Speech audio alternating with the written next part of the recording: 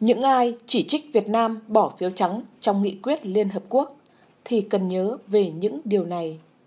Sau khi Việt Nam nằm trong số hơn 30 quốc gia bỏ phiếu trắng cho nghị quyết của Liên Hợp Quốc lên án Nga xâm lược Ukraine, nhiều ý kiến từ cái gọi là truyền thông dân chủ liên tục công kích Việt Nam, vô cảm, thân Nga, chính sách ngoại giao đu dây, đòi Việt Nam phải thoát Trung, thoát Nga, thân phương Tây để được thế giới ủng hộ nếu bị Trung Quốc xâm lược.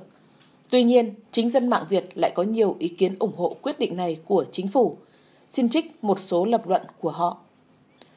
Hãy nhớ lần quân tình nguyện Việt Nam tham gia chiến dịch biên giới Tây Nam, phần lớn các quốc gia trên thế giới chỉ trích chúng ta sau khi tội ác Khmer Đỏ được phanh phui, hầu hết các quốc gia im lặng. Họ tập trung vào khoe công trạng xét xử Khmer Đỏ, không thèm quan tâm đến hàng ngàn người Việt Nam và hàng triệu người Campuchia bị thảm sát.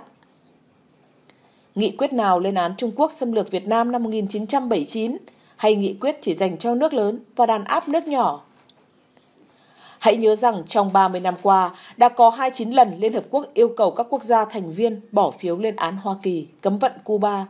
Trong 29 lần đó, lần nào số phiếu lên án Hoa Kỳ cũng áp đảo và vượt trội. Trong số đó, gần nhất là có tới 184 phiếu thuận, 3 phiếu trắng, một phiếu của Ukraine, hai phiếu chống Hoa Kỳ, Israel. Nghị quyết lên án Hoa Kỳ cấm vận Cuba là một trong những nghị quyết được ủng hộ lớn nhất lịch sử Liên Hợp Quốc, nhưng vẫn chẳng giải quyết được điều gì cả người anh em của chúng ta vẫn bị cấm vận.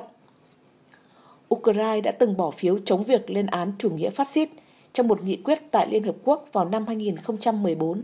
Nên nhớ là chỉ có 3 quốc gia bỏ phiếu chống, đó là Hoa Kỳ, Canada và Ukraine. Còn 50 quốc gia, trong đó phần lớn là châu Âu, bỏ phiếu trắng với cam kết chúng tôi lên án chủ nghĩa phát xít, nhưng không muốn bày tỏ điều đó tại đây. Và gần 120 quốc gia bỏ phiếu đồng ý. Nếu các anh chị lo cho Việt Nam rằng sau này Trung Quốc hay bất cứ quốc gia nào đó đánh Việt Nam thì sẽ không có ai ủng hộ. Đừng quên rằng lịch sử của chúng ta đã phải trải qua như thế nào. Nếu các lá phiếu có tác dụng thì Hoa Kỳ đã không ở lại Việt Nam lâu đến như thế. Nếu các lá phiếu có tác dụng thì Cuba đã không bị cấm vận, người Palestine đã không bị mất đất. Tội ác diệt chủng Khmer Đỏ đã không được che giấu suốt bao nhiêu năm. Tại sao cứ phải lo xa cho một trường hợp Trung Quốc đánh Việt Nam? Tại sao không phải là Việt Nam sẽ mạnh mẽ hơn? Tại sao không phải là hai quốc gia sẽ sống chung hòa bình từ những bài học trong quá khứ? Miệng bô bô bỏ phiếu để đề phòng Trung Quốc đánh Việt Nam thì khác gì mời gọi là đánh Việt Nam đi, đánh Việt Nam đi. Công khai chống một quốc gia như vậy thì chẳng khác gì đẩy hai quốc gia đến mồi lửa chiến tranh. Tại sao lúc Việt Nam ủng hộ Cuba, Palestine, các anh chị không lên bài đăng trạng thái ủng hộ lá phiếu của nước nhà đi? Hay tính mạng, công lý của người Cuba, Palestine với các anh chị không bằng tính mạng của người Ukraine? Hãy thôi cái trò đạo đức giả đó, tự nhiên quan tâm đến chính trị thế hay vì mưu đồ gì đó. Một lá phiếu được đặt lên bàn cân Liên Hợp Quốc mang sức nặng to lớn của một dân tộc. Lá phiếu đó thể hiện đường lối ngoại giao từ lịch sử đến hiện tại.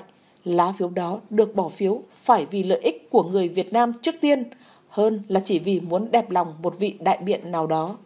Nếu vị đại biện đó chân thành, bà ta đã không nhận lời phỏng vấn VOA tiếng Việt, một tờ báo chống phá Việt Nam và không nói với giọng điệu bề trên Việt Nam là nước nhỏ.